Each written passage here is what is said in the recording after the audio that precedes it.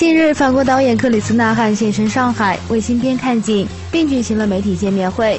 演员张怀秋也特意来为导演打气。克里斯纳汉与亚洲的渊源颇深，曾先后与李连杰、全智贤合作。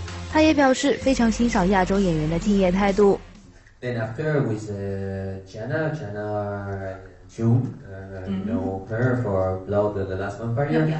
She she's not used to do fights and kind of stuff, so she did a lot of years and and she she worked very well. But unfortunately, she get hurt a lot of time. I remember one time the the big crane uh, get released and hit her, so Oh. passed away. So It was- yeah. Yes, yes. She was very, very brave, very, very good uh, actress. 嗯此外，他还透露，合作时就经常被李连杰的中国功夫及专业精神惊艳到。